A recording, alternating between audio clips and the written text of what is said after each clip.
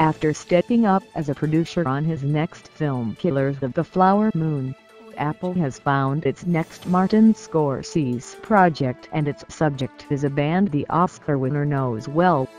Sources tell Deadline, Scorsese is on board to direct and produce a new untitled biopic on the Grateful Dead with Jonah Hill on board to play the group's frontman, Jerry Garcia.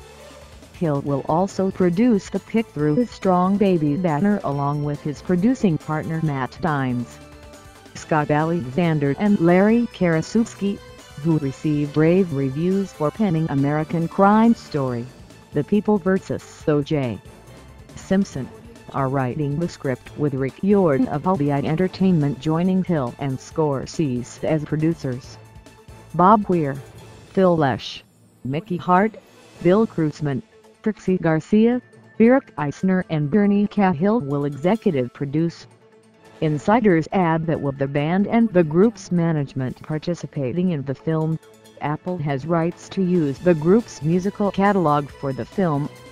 After stepping up as a producer on his next film Killers of the Flower Moon, Apple has found its next Martin Scorsese project and its subject is a band the Oscar winner knows well.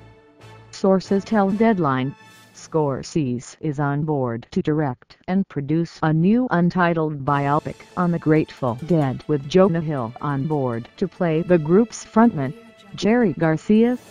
Hill will also produce the pic through his Strong Baby banner along with his producing partner Matt Dines. Scott Alexander and Larry Karaszewski, who received rave reviews for penning American Crime Story, The People vs. O.J. Simpson, are writing the script with Rick Yorn of LBI Entertainment joining Hill.